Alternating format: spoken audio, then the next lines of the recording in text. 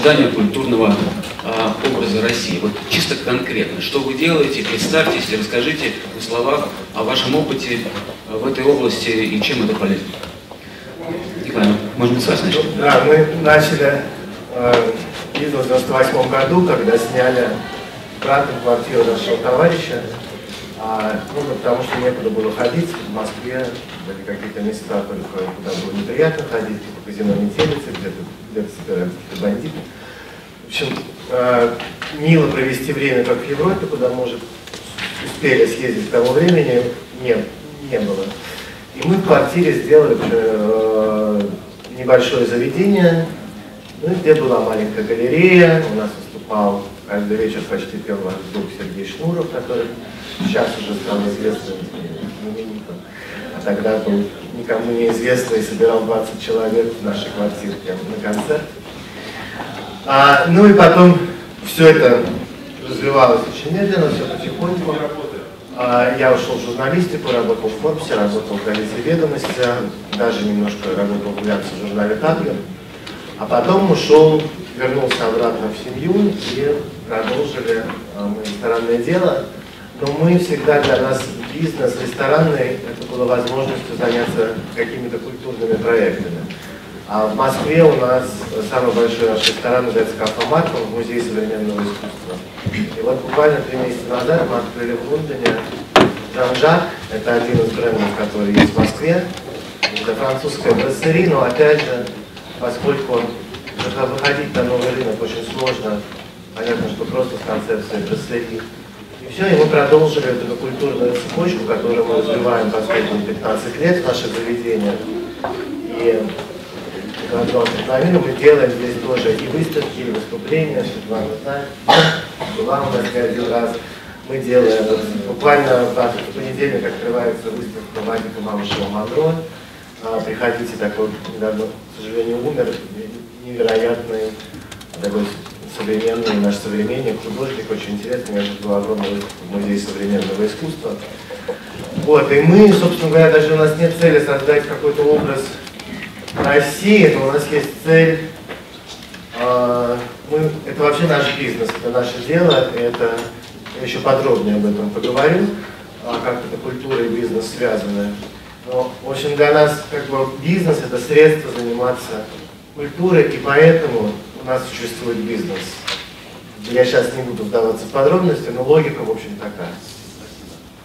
Спасибо, Света. Может быть, вы продолжите тогда? написала тезис. Поэтому, может быть, я э, выступлю тебе Дмитрию, а потом... Как вам, как вам удобно? Ну, потому что очень теоретически. Нет, теоретически мы еще будут вопросы потом. Нам хочется, если возможно, вот очень сжато, сжато несколько минут, а потом мы будем, а потом уже да, сами представление, да, а потом начнем уже работать по вопросам.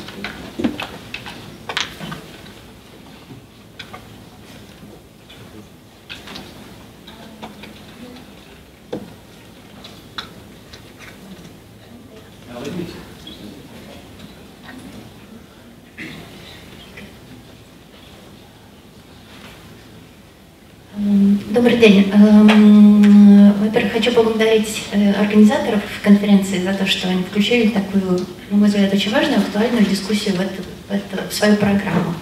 И э, ну, что касается моего опыта, э, я, в отличие от Игоря Цуканова, Ники Борисова и Дмитрия Аксенова, я как раз представляю другую сторону вот этих отношений бизнес-культура. Все, весь мой опыт работы был в сфере культуры.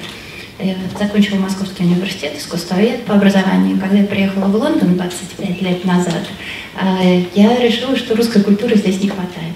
И э, основала организацию, которая называется Академия Росика, потому что в тот момент она была очень тесно связана с Оксфордом и с Кембриджем. И эм, с самого начала мы решили, что вот классическую культуру знают в Англии очень хорошо, а современную культуру совсем не знают, или очень мало знают, и поэтому э, не понимают, что происходит в России, или понимают с запаздыванием. Поэтому э, моя задача была э, представлять современную русскую культуру английской э, аудитории. И последние семь лет мы проводим э, каждый год фестиваль русской, русского кино, фестиваль русской литературы слова. И, э, как мне говорят, это лучшие русские фестивали, проходящие за рубежом. Э, и мне кажется, что русский Лондон вообще так столи, культурная столица мира, поэтому очень важно, чтобы именно здесь были лучшие фестивали, лучшие русские фестивали, через которые русские лондонцы репрезентировали как себя английскому, британскому обществу. Он мне, по-моему, работает Добрый день. Значит, э, я являюсь основателем и владельцем компании RDI Group. Компания занимается девелопментом в московском регионе, строительством больших жилых комплексов в ближнем Подмосковье. В прошлом году мы передали нашим клиентам около 4000 квартир жилья. То есть это довольно такой выше среднего объем строительства в московском регионе. А, занимаясь э, девелопментом, мы стараемся предоставить нашим клиентам современный продукт, это современный образ жизни, современная архитектура, современный дизайн, социальная, культурная инфраструктура и естественным дополнением э, к этому бизнесу стало мое увлечение э, современным искусством. Это произошло где-то лет 8 назад, благодаря в том числе присутствующему здесь Игорю Цуканову, то есть меня очень впечатлил его кейс, как человек э, быстро создает культурную ценность, которая становится значимой в мировом контексте, в общем-то, подойдя к такому бизнес-проекту. Мне это очень импонировало, и, в общем, я заинтересовался и по разным причинам стал увлекаться, с одной стороны, коллекционированием современного искусства, российского в первую очередь, а вторая часть этого – стал тратить время и силы на э, культурные э, проекты, на культурную инфраструктуру, потому что я обнаружил, что соотношение нашего культурного прошлого и нашего экономического будущего с состоянием культуры в России ну, неадекватное. Культурно недоразвита культурная инфраструктура. Поэтому нашел возможным тратить много времени и сил на участие в развитии культурной инфраструктуры. В результате я оказался в большом количестве э, попечительских советов культурных институций, как в России, так и за рубежом, поскольку э, модернизация требует знаний и лучших практик, а они, конечно же, находятся за рубежом. Поэтому, в частности, я хожу в комитет э, по восточно российскому и восточноевропейскому искусству в ТЭТе, Моден. Я вхожу в попечительский совет э, Альбертины, это музей графики в Австрии, является, наверное, крупнейшая коллекция графики э, в мире. Ну и так далее. Большое количество институций в России. Также я по стечению обстоятельств э, являюсь основателем э, ярмарки современного искусства в Вене, чей фокус это восточноевропейское, центральное и восточноевропейское современное искусство. Вот таким образом я оказался здесь. Игорь, с чего возможно меня пригласить? Спасибо. А, скажу несколько слов о себе. А, я заканчивал Московский университет а, в 1984 году, потом работал в Академии наук. Ну и с 92 -го года по, наверное, 2011 я занимался основным бизнесом. Вот. А где-то в начале, в начале 2000 года так получилось, что я э, начал интересоваться искусством. И потом это стало, превратилось в такой большой проект. Вот. Сейчас я уже закончил свою бизнес-карьеру. Последние годы я в основном занимаюсь филантропическими проектами, в том числе в искусстве, в музыке, в образовании. Вот. И э, смысл того, что я делаю, ну, есть как бы несколько разных направлений, но а, например, ну, одна из миссий в области искусства, в области арта, да, она состоит в том, чтобы как-то сформулировать, представить э, российское или даже советское в то время послевоенное искусство как некий самостоятельный этап э, в истории европейского искусства э, и добавить, по сути, этот период к тому, что э, весь мир знает, э, что такое искусство, прежде всего авангард русский. Да? Вот если как бы в результате усилий, которые, так сказать, э, расписаны просто по годам, как-то удастся вот сформулировать такой второй этап, это, я считаю, будет главное, э, ну, есть главная задача, чем я занимаюсь. Вот. А в области музыки, э, да, и оно, а средством для этого прежде всего являются большие, именно очень большие такие международные проекты, э, как выставки в Лондоне, э, которых я уже сделал несколько, и сейчас еще следующее будет. Э, это и образовательная часть, это с, обмен студентами между арт-школами Лондона, Америки и Москвы. И это стипендии специальные в арт-школах для студентов. Вот. Ну и еще там целый ряд моментов. Вот. Музыка тоже является очень важным направлением, потому что делает Foundation – мой семейный, вот, это прежде всего проекты, где в той или иной степени а, какой-то угол возникает с русской музыкой или с русскими исполнителями. Это Илоновский филармонический оркестр, где Владимир Юровский, который, наверное, знаете, ну, каждый год, по сути, он открывает программу с, обязательно с нескольких вещей, связанных э, с, с русской музыкой. Да? И это Королевская опера, где где в следующем году будет ставиться Борис Голунов, одна из самых главных опер 19 э, века России, первый раз за много лет. Вот. Э, эти, такие проекты я тоже поддерживаю, как Foundation, и я считаю, это важно. Ну вот, ну и, и давайте тогда перейдем к вопросам, это такие краткие были вступления. Давайте начнем вот с чего. Свет, может быть, первый вопрос к вам я задам, да? Скажите, вот сейчас в чем вы видите, почему именно сейчас э, актуальна поддержка э, культурных проектов, связанных с Россией? Есть какое-то отличие вот именно сегодняшнего периода по отношению к тому, что, например, было там 10-15 лет назад? Вот в чем эта актуальность, как вы видите?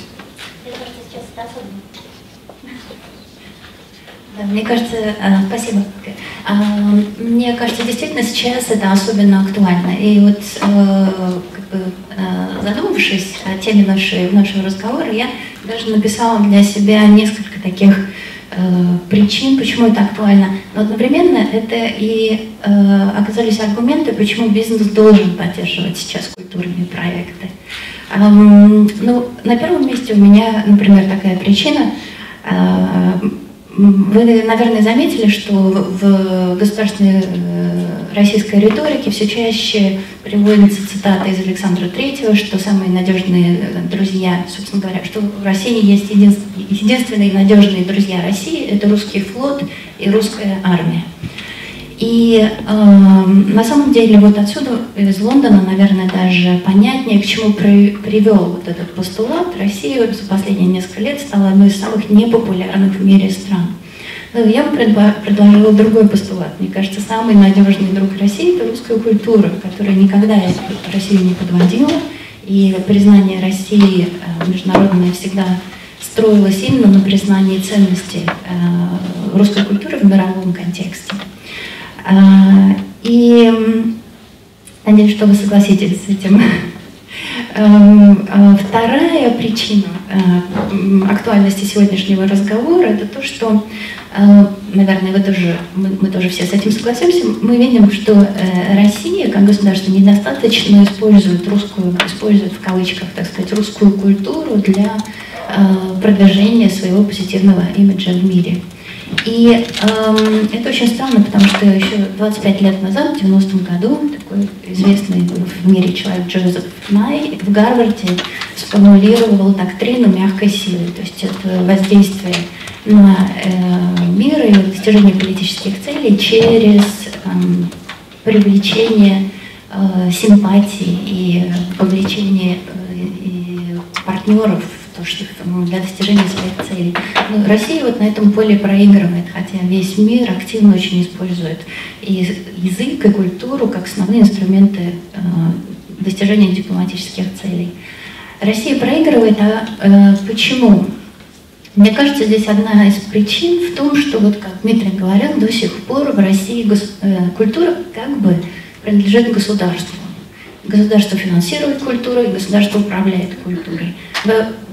Как вы знаете, в Великобритании давным-давно это уже не так. И э, если в России прошла в 90-е годы приватизация экономики, приватизацию культуры как бы до сих пор не прошла. Мне кажется, э, это неправильно, и на самом деле очень жаль, а, что действительно эти отношения в области культуры не, перестроены. То есть э, мы, русские э, люди и русский бизнес, не, эм, не Извините мне слово claim, английское крыльцо в голове. То есть мы не, не востребовали эту культуру как нашу собственную культуру, которая должна принадлежать нам, которая является нашим э, достоянием и которая должна работать на нас. Мне кажется, вот очень важно, чтобы мы все это сделали, и чтобы бизнес в том числе сделал это, и бизнес э, видел в культуре большой э, потенциал для своего развития. И мне кажется, еще одна причина, третья, э, это то, что, ну, это на самом деле уже не э, всем известно и всем понятно, то, что культура становится э, сейчас интегрирована в бизнес и в, в, в экономике, которая, построена на инновации и высоких технологиях, культура становится частью развития бизнеса, потому что культура по своей сути инновационна и креативна, и поэтому, если, мне кажется, единственный способ развивать бизнес – это через взаимодействие с миром культуры. Но это очень сложно, и эм, это требует вовлечения профессиональных профессионалов, которые работают в мире культуры. Поэтому ну, культура такая вещь, она как бы самодостаточна, она очень редко делает шаг навстречу бизнесу. Поэтому мне кажется, вот ваша задача, как будущих бизнесменов, понимать, что этот шаг должны сделать вы. Но э, этот, э, этот шаг, эти инвестиции в культуру на самом деле окажутся очень важными и во многом э, и вернутся вам стократно. Давайте тогда перейдем к бизнесу э, и начнем с того, что завершила э, Света. Николай, можно к вам вопрос? Вот очевидно, что бизнес э, участвует э, ну, практически в любом культурном проекте, как спонсоры, значит, или, или иным способом. То есть нету большого культурного мероприятия, ни в одной стране, где бы не участвовали какие-то частные спонсоры, или корпоративные, или частные спонсоры. Вот что это? Это филантропия чистая? Или участие в культуре для, для бизнеса тоже может быть использовано для каких-то своих целей. То есть и для расширения кругозора, и для расширения... То есть вот, и как бы вы сформулировали, это взаимный процесс культуры и бизнеса? Или бизнес рассматривается только как спонсорство и больше ничего? Вот, вот ваше, ваше мнение.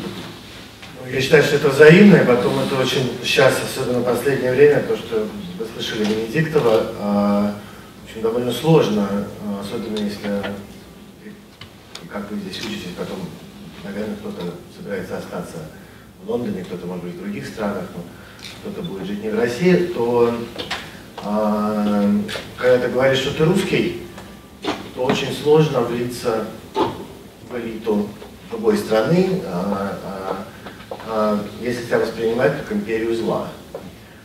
А если ты сам лично образован, ты знаешь художников, ты знаешь балет, ты ходишь в оперу, ты а, можешь поддержать диалог на уровне, на культурном уровне, к тебе абсолютно другое отношение. Потому что, особенно в Англии, англичане считывают культурный код за 30 секунд. Они определяют мнение о человеке буквально, там, не знаю, им достаточно одной минуты. И вот сколько я не встречал здесь людей, там, а, это работает. Поэтому это если брать вот, что, что называется личное частные интересы. Если брать корпоративные интересы, а, Света, Светлана правильно сказала, что там в Америке, например, где я жил два года, я преподавал там русский язык, а, там нет Министерства культуры, и я не мог своим студентам объяснить, что такое Министерство культуры. Они не понимают, что это такое. Как бы, или министр спорта. У них нет Министерства спорта.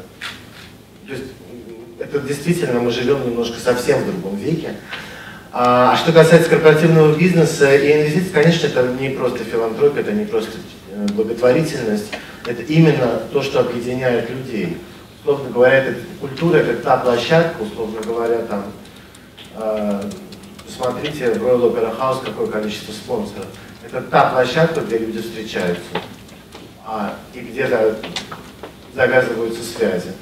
Я получил разрешение на стройку только когда я а, а, мой адвокат понял, что они были в одной а, клубе с а, представителем Soho Estate.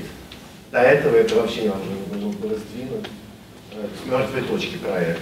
Через 15 минут у меня было подписанное разрешение.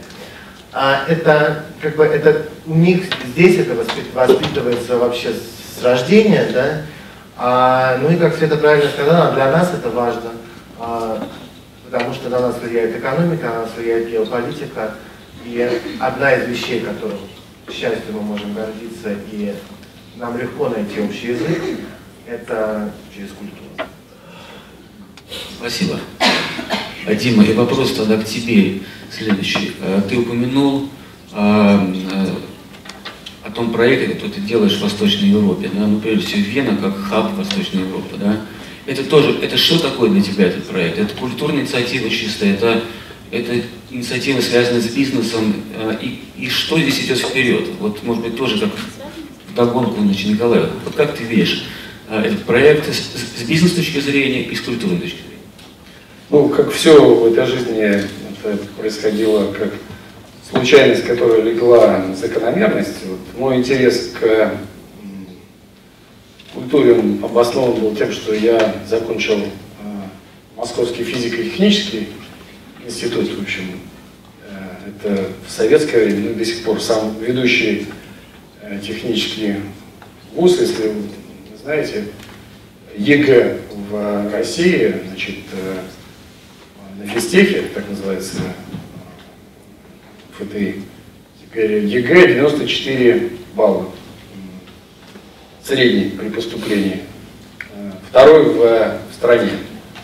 В первое место занимает МГИМО. Это 94 с половиной. Ну, в МГИМО нужно сдавать там английский, русский, еще что-нибудь. Ясно, природа этих оценок, она подвержена, так сказать, коррупции. В то время как э, на физтех нужно сдавать физику, математику,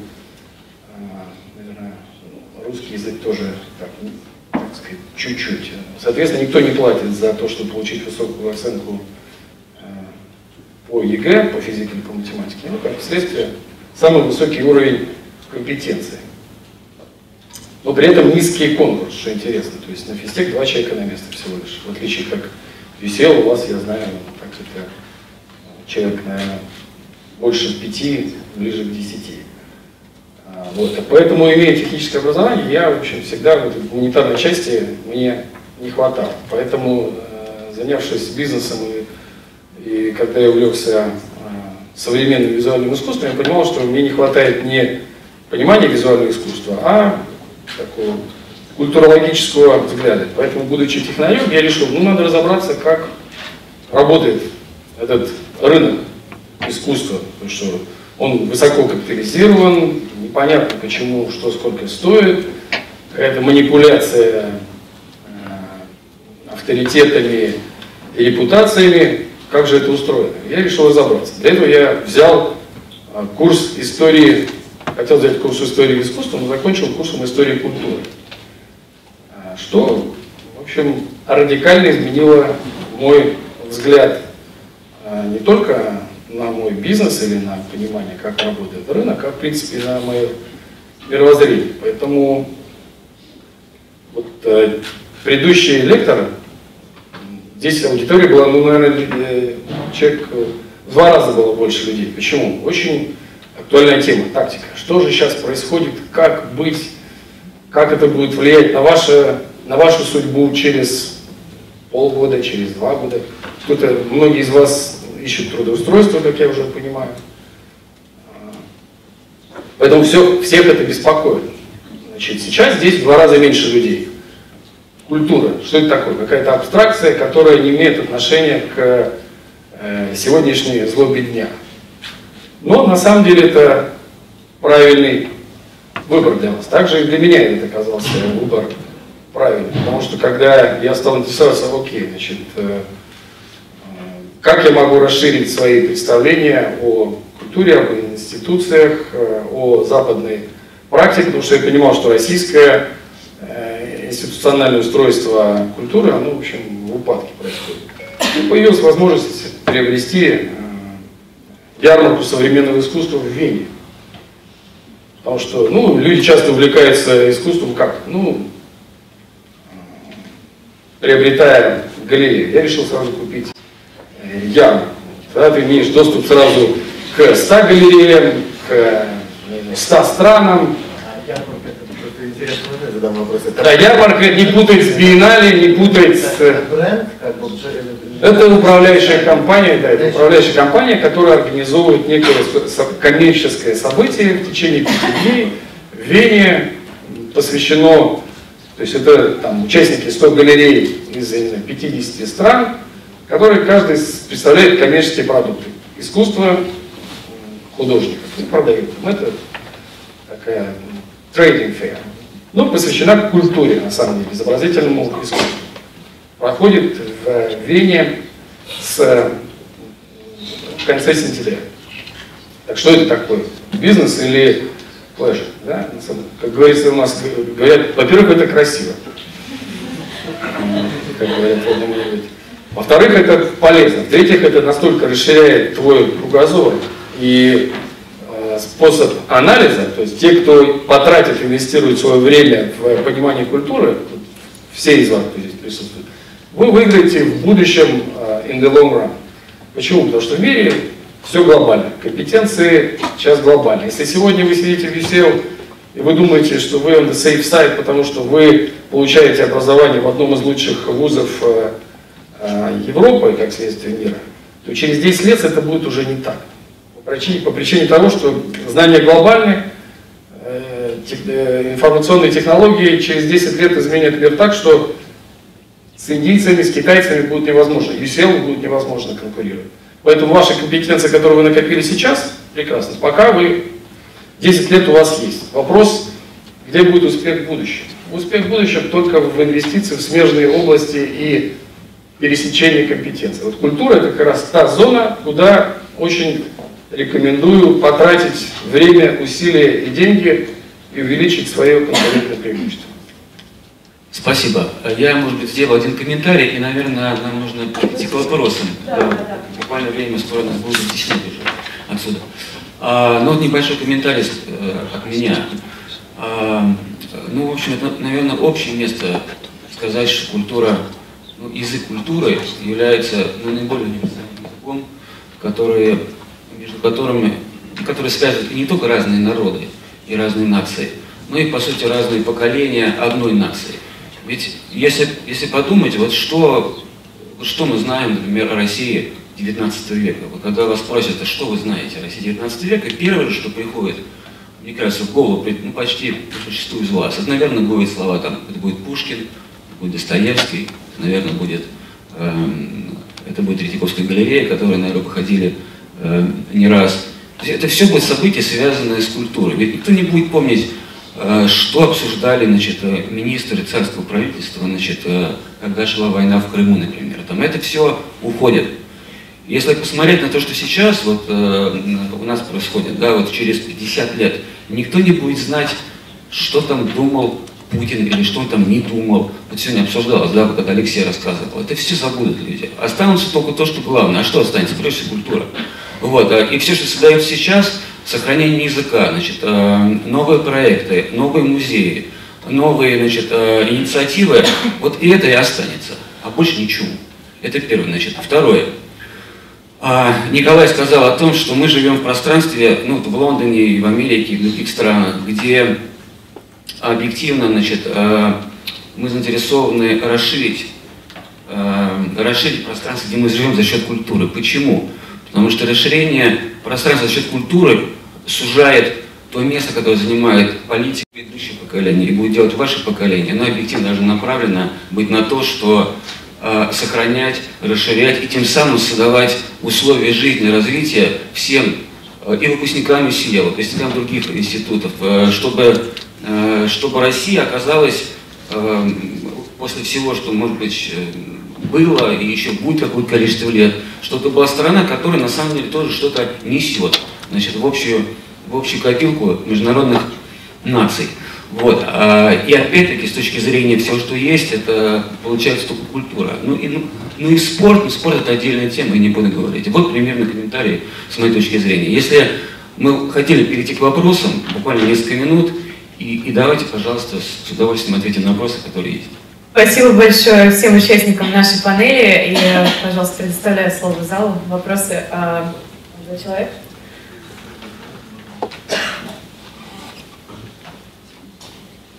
Спасибо большое. Меня Юрий зовут. Я был вопрос, наверное, в основном Светлане адресую, потому что больше про вот чисто культуру без бизнеса. Ну, я думаю, если спикер будет всем интересно глядеть. То... У меня вопрос такой. Вот после советского периода,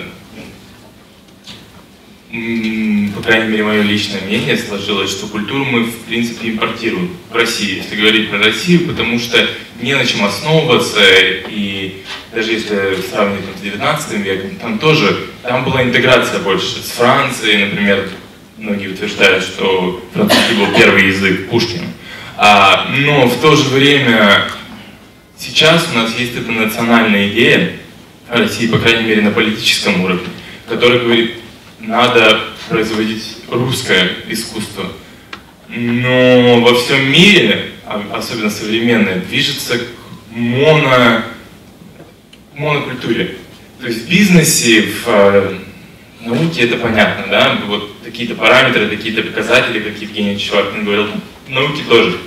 А в культуре мы должны, то есть вот, каждый спикер говорил именно про русскую культуру, но вот я, мне хотелось бы задать вопрос, должно ли общество стимулировать именно русскую культуру или просто интегрироваться в монокультуру, и если это сделал человек из России или человек, родившийся в России, то хорошо. Или что-то вот мы должны на национальном уровне тоже поддерживать. Спасибо. Поддерживать нашу культуру, сколько наших э, художников, писателей и так далее. Вот на этом уровне мы должны поддерживать нашу национальную культуру.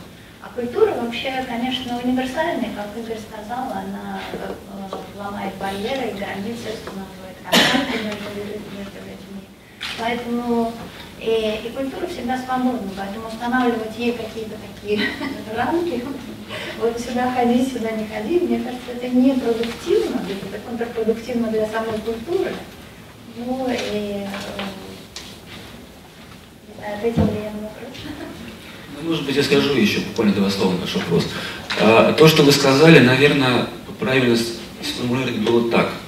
А, если традиции национальные, которые требуют какой-то особого, особого отношения там, со стороны правительства, там, Министерства культуры. То есть это именно, если какие-то уникальные ценности, значит, которые вот нужно защищать в культурном пространстве. Вот об этом же говорит министр культуры, там, и вот все, что вы сказали, да? Да, это вот одна сторона вопроса. Это на самом деле к культуре как таковое отношение не имеет. Это скорее имеет отношение к через культуру делать свои какие-то политические цели, преследовать, значит, и, и, и, ну и по сути воплощать политику там государства, как она сейчас сформулирована, через культуру. Вот чем занимается Министерство культуры. Это не поддержка русской культуры. Это совершенно как бы э, ну, то же самое дело и было в СССР, когда, когда, ну, когда использовались определенные, значит, э, э определенные ну, указания, если хотите, значит, они были реализованы через разные постановления. Это была просто политика государства в области культуры. А русская культура, она гораздо шире, и она к этому отношения сейчас не имеет никакого. мне кажется, я совершенно согласна с Игорем. И мне кажется, что это вот такой вот э, пережиток как бы, этого вот советского э, советского доминирования в области культуры. Причем скорее мы культуру заберем нашего государства, чем скорее мы сами будем ее финансировать, поддерживать, развивать. И нас много, мы все разные. Естественно, мы будем развиваться совершенно в разных, в разных э, направлениях. И э, мне кажется, это гораздо более здоровая ситуация, более продуктивная и правильная. А, ну, я еще хотела бы сказать, что мне кажется, как раз тот факт, что здесь, как Дмитрий сказал, половина слушателей осталась, а, половина аудитории осталась, мне кажется, на мой взгляд, может быть, я ошибаюсь, это э, отчасти свидетельство того, что люди, не вовлеченные в культуру, немножко сторонятся и боятся культуры, и не понимают, как можно начать с ней взаимодействовать. А на самом деле это очень просто. Нужно только сделать первый шаг. Но вот какие-то простые такие вещи. Я знаю, что вот в Великобритании, например, широко практикуется, например, пригласить э, креативного продюсера совет директоров чисто, чисто э, бизнес корпорации. Или наоборот, каждый из вас может предложить свое участие, свой э, совет по бизнес-развитию какого-то культурного проекта. Просто очень важно начать взаимодействовать с этим миром. Не обязательно, как Дмитрий, закончить целый курс по истории культуры.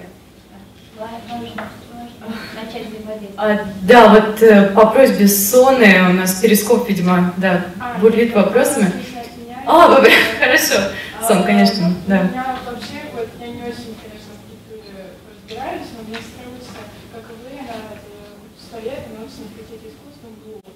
И вот как для нее, я волнуюсь, честно говоря, ее трудоустройстве, а, вот как э, вы же говорите, что мы должны поддерживать наших художников, наших русских писателей, искусствоведов, а, а, но у многих из них нет возможности, допустим, а, приехать за границу, потому что их, допустим, а, диплом каком-нибудь, там, не знаю, мархе, если они архитекторы, или там в Суриковском училище, он не будет котироваться, ну, мало где будет котироваться, правильно? И у них не будет возможности потом, ну, действительно, какой-то вклад большой сделать, если они не делали стажировку там в Марагоне, в Италии или где-то во Франции, там, да? Вот как э, дальше дать нашим молодым художникам возможность э, получить хорошее образование именно в России, чтобы они могли потом развиваться? Мне кажется, это вопрос к который, который поддерживает образование своим фондом. Ну, это такой же вопрос, который относится к студентам. Кто-то учится в UCL, кто-то учится в физтехе, кто-то учится в других местах. Это выбор, выбор а, уже студента, где ему учиться. А, то, что я знаю, то, что учится, вот, то, что преподают в арт-школах в, в Америке и в Лондоне, принципиально отличается от того, что преподают в арт-школах в Москве или в Петербурге. Просто принципиально отличаются. Это совершенно разные, разные вещи. Вот. И э, они не меняются пока, и поэтому ну, мои знакомые, скажем, художники, которые сами преподают и говорят, что но с точки зрения вот мастерства, там, скажем, первые два курса очень важно, там, как руку ставят, очень хорошие школы в России и остались, технические, да. Все остальное нужно сразу уезжать, так сказать, и, и, и делать карьеру здесь, учиться, да. Здесь какой опыт есть? Понятно, что нужно для этого финансирование, эм, но даже программа по поддержке студентов, э, она только-только началась, мне кажется, в России последние два года, это тоже очень маленькая в Казахстане, гораздо больше делали с точки зрения просто поддержки ну, стипендиатов, которые посылают учиться. Да? И я даже думаю, что если программа будет расширяться, вот те студенты, которые хотят заниматься искусством в арт-школах, они там будут занимать какой-то совсем низкий приоритет иметь вот в этих, этих, этих программах, и вряд ли можно рассчитывать на государственную поддержку. Я не вижу пока ничего, что происходит в этой сфере. Вот. А, все время есть фонды, а, есть разные фонды, которые дают финансирование на такие программы, ну, конечно, это очень маленькая часть от того, что было бы нужно для того, чтобы... Но, тем не менее, вот в Голдсмите есть несколько русских студентов, так сказать, они довольно дорогое обучение там, в арт-школе, там, дороже, чем здесь даже. Вот, они там учатся и как-то нашли деньги э, и, и хотят делать, хотят делать художественную карьеру здесь.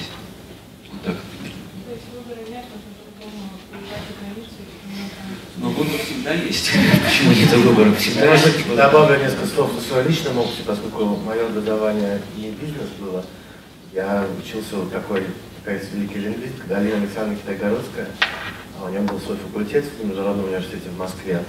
И мы, у меня в дипломе написан специалист по межкультурной коммуникации. Как нас трясло, вы себе не представляете, потому что а кем мы будем? Ну, я выпускатель, вы всем 20 лет нужно пойти на работу. Кем я? И мы, мы ходили и говорили, а кем мы будем?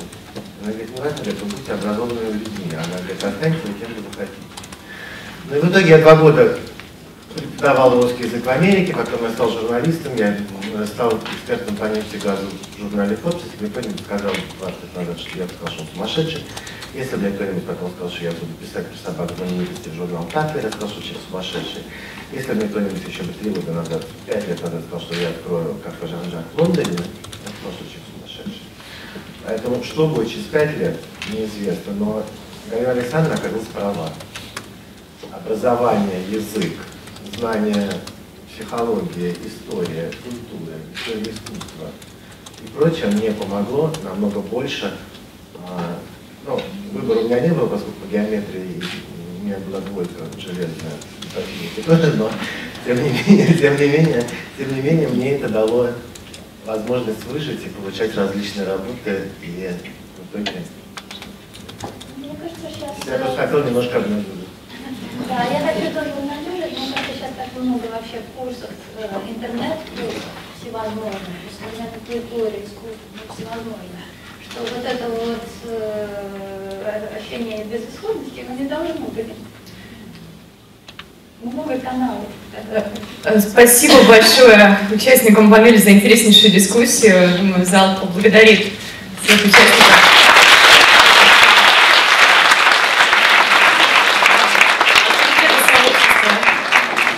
Сувенирные зонты с логотипом нашего университета. Спасибо большое. Да. Для нас новый формат, я думаю, провели успешно.